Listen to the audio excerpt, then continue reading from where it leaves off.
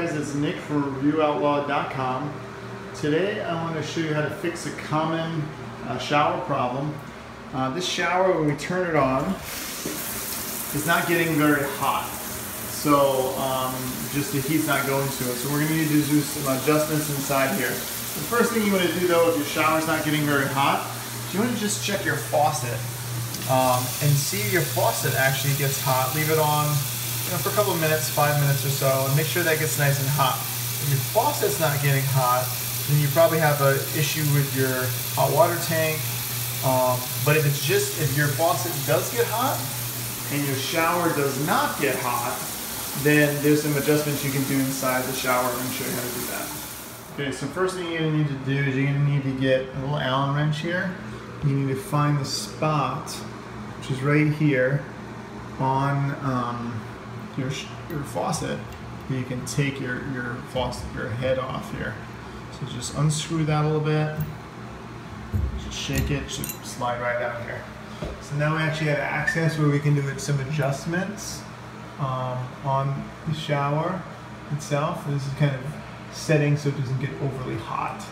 And here you can actually see it says hotter, colder, and we can kind of adjust this uh, piece right here. Okay, so now what you're going to do is you're going to pull this kind of safety piece off.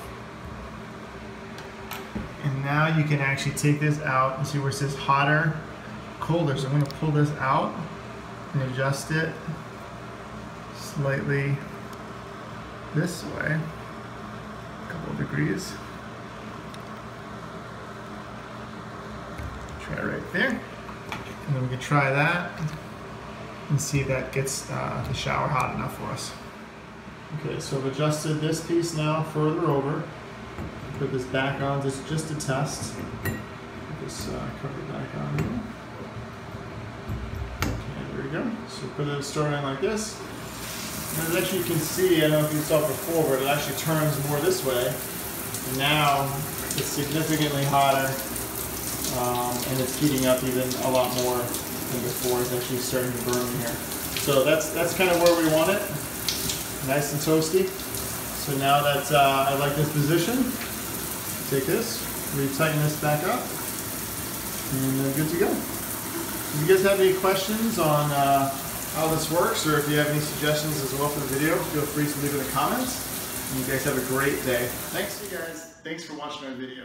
If you have time, please subscribe to my channel, click here to watch more videos, or please give me a thumbs up. Thanks.